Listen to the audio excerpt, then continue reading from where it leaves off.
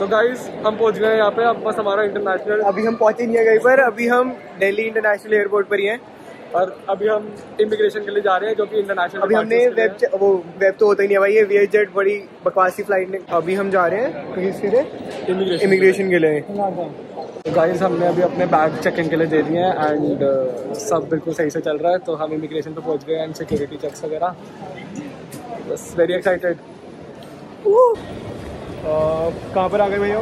Immigration cross the immigration and the security check and ये generally एक बहुत डराने वाला प्रोसेस होता है। वो एक मतलब- चेक करते हैं पासपोर्ट वीज़ा एक एक डिटेल चेक तो कर रहे होते हैं और अगर ज़रा भी शक होता है तो कुछ ना कुछ फालतू पूछ लेते हैं। बट और सबसे पहले चीज़ तो ये पूछते हैं आप कनाडा जा रहे हो आप इंडोनेशिया जा रहे हो? कुछ भी सीधा सीधा पूछेंगे आपको मतलब थोड़ा डरा ही देंगे पहले। हाँ इंडियन देखते ही कनाडा जा रहे हो। हाँ नहीं मुझसे पूछा बा, आ, बाली का वो दिखाओ मतलब बाली कहाँ पे रह रहे हो? तो मतलब ऐसे ही रैंडम गेस करते हैं और कुछ भी पूछ लेते हैं। तो मतलब थोड़ा सा डरावना होता है। फिर उसके बाद कुछ नहीं पूछा। मैं बोला कॉन्फिडेंटली कि वो आपका कॉन्फिडेंस चेक कर रहे होते हैं। हाँ बस घबराना नहीं है स्टे स्ट्रॉन्ग और अभी हमारे पास बना रहा है तो तो देखते हैं शायद लॉन्च एक्सेस लेते हैं। फिर आपको डिटेल्स देंगे कि कैसे आप ले सकते हो access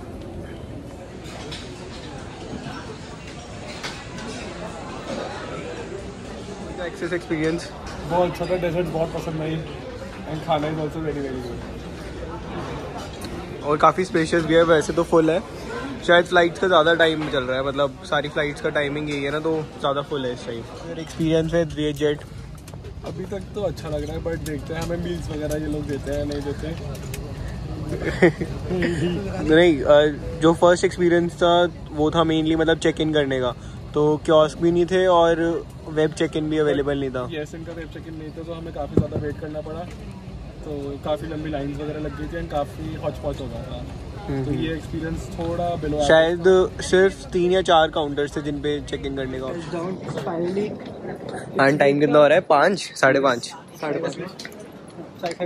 Five thirty approximately five hours लगे हमें। एंड हम यहाँ पे पहुँच चुके हैं।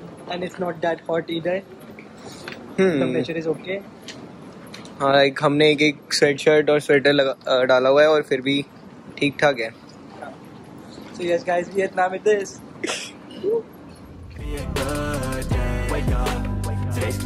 अभी हम एयरपोर्ट पे पहुँचे हैं और लगेज वगैरह कलेक्ट कर लेते हैं। उसके बाद क्या करना है? सिम देखते हैं और कैब बुक करके जो हमने वन फोर्टी सिक्स थाउज़ेंड है ये। ये वही है दूसरी ऐप है। हाँ। वो कितना था वन फोर्टी वन हाँ क्या करना है। अभी पहले भाई डॉलर्स तो कन्वर्ट करा लो उसको पैसे किससे देंगे? यहाँ पे भी है इनकी ऐप छः बजे अभी तो कुछ ओपन भी नहीं लग रहा। ना सिम के लिए ना कुछ। क्या करें? और जो लोग कह रहे थे वियतनाम बहुत सस्ता कोई सस्ता नहीं है। कितना किलो कितना होगा? सात आठ किलोमीटर के लिए पाँच सौ रुपये मांग रहे हैं ना कैब। ऑनलाइन ऐप में। भाई हम पहुँच गए हैं Ho Chi Minh city and we have exited और अब हमारी कैब भी आ गई थी। यस एंड यहाँ पे हमने एयरपोर्ट पे थोड़ा सा करेंसी एक्सचेंज कराया बिकॉज़ शॉप्स वगैरह भी बंद है। टाइम यहाँ पे अप्रॉक्सीमेट सिक्स थर्टी हो रहे हैं। लेट्स सी अब कैसे जाते हैं। तो अभी हम सीधा होटल जा रहे हैं। वैसे तो हमारी होटल बुकिंग अराउंड ट्वेल्व या एक के आसपास वो हमें चेक इन देंगे। बट फिर भी एक बारी हम देखते हैं कुछ आसपास होटल ले लेंगे क्योंकि फोर टू फाइव आवर्स हमें रेस्ट करने के लिए चाहिए। स्कूटी वगैरह बुक कराएँगे और क्या क्या करना है सिम भी लेंगे। है यस थोड़ा करेंसी एक्सचेंज चीपर रेट हाँ जो भी हमें करेंसी का रेट मिला है ना वो भी ट्वेंटी टू एट हंड्रेड मिला है। जबकि जो ऑनलाइन शो कर रहा था वो approximately twenty three five hundred था ना? तो फाइव परसेंट भी नहीं महँगी वैसे तो। फोर परसेंट अप्रॉक्सीमेटली तो देखते हैं कि हम इससे चीपर कितना ले सकते हैं। एंड जो कैब है मैं अभी आपको दिखाता हूँ कि काफ़ी बढ़िया हुई है। ये हमने ग्रैब से बुक करी है। काफ़ी बढ़िया नई जैसी गाड़ी है। कैसी लग रही है राइड यस बड़ा मज़ा आ रहा है। काफ़ी कंफर्टेबल कार है। गाड़ी बहुत बढ़िया और ड्राइवर तो नेक्स्ट लेवल बलिनो से बढ़िया है। भाई सुंदर सुंदर गाड़ी है यहाँ पर। हाँ। ऐसे ब्रांड्स भी देखने को मिलते हैं इंडिया में। डिफरेंट ब्रांड और एस भी ना काफ़ी क्लासी लुक्स मतलब जो एक्चुअली डिमांड है। इंडिया में अभी तक आई नहीं है ये। काफ़ी बढ़िया लग रही है। तो भाई हमें अपने होटल के पास ही जो एलेगॉन साइगॉन है, उसके पास ही हमें यहाँ पर एक होची में सेंट्रल मार्केट करके है, और यहाँ पर हमें स्कूटीज मिल गई हैं, और ये है हमें मिली है two two hundred thousand V N D जो दो लाख वी एन डी है अप्रॉक्सीमेटली सात सौ रुपीज़ में दो स्कूटीज मिल गई हमें। तो ये दोनों स्कूटीज हैं शायद। तो भाई हमें 200 सौ में मिल गई है एंड सात सौ में दोनों। तो यार, इस वीडियो में ना मैंने ये सब डिस्कस करा है कि जितना हम पहुँच गए हैं, उसके बाद हमने एयरपोर्ट पे जैसे लैंड करे तो हमें एक टैक्सी बुक करानी थी होटल पहुँचने के लिए। तो उसके लिए एक बेसिक मिनिमम हमें कैश चाहिए होता है। तो वो कैश हमने बहुत नॉमिनल सा अमाउंट शायद पाँच हज़ार के अप्रॉक्स एयरपोर्ट पर चेंज कराया, ताकि हम टैक्सी वगैरह ले सकें, अगर कुछ खाना रास्ते में खा सकें।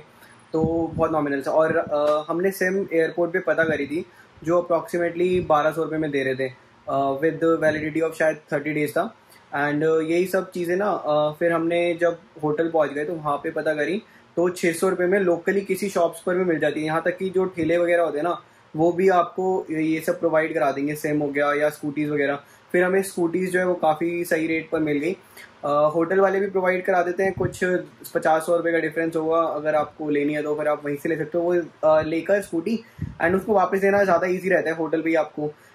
इन इन केस अगर आप किसी शॉप से लोगे तो उनको टाइम का वो रहेगा कि किस टाइम देनी है वापस ये सब। और थोड़ा सा वॉकिंग डिस्टेंस तो हो गई या फिर कुछ ना कुछ तो आपको जाना पड़ेगा वहाँ पर।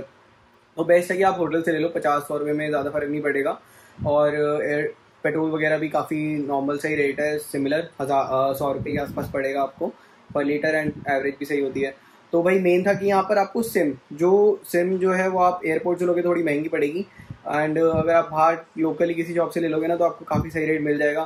फिर दूसरा करेंसी एक्सचेंज करेंसी एक्सचेंज भी ना जो हमने एयरपोर्ट पर कराया वो काफ़ी हमें आ, मतलब लूटने वाला टाइप का ही आप कह सकते हैं ज़्यादा नहीं बट अच्छा खासा डिफरेंस मिल जाता है। और अगर आप किसी बाहर निकलते, किसी जो ट्रैवल एजेंसीज होती है ना, उनसे कराओगे तो काफ़ी सस्ता मिल जाएगा। तो अच्छा रेट मिलता है। तो कन्वर्जन भी आप बाहर से कराओ मोस्टली एंड बाकी तो काफ़ी लोग ए टी एम भी यूज़ करते हैं। तो ए भी ना हर किसी के पास वो फॉरेक्स वाले कार्ड नहीं होते। अपना मतलब चार्जेस ना लगे। तो सब लोगों का हिसाब अलग होता है। तो यही था रीज़न मेनली अपना कि हमने कैश को ही चेंज कराना था। डॉलर्स लेकर गए थे। तो हमने यहाँ से सीधा सिर्फ़ पाँच हज़ार के अप्रॉक्स कराया फिर बाहर की शॉप्स पे करवाया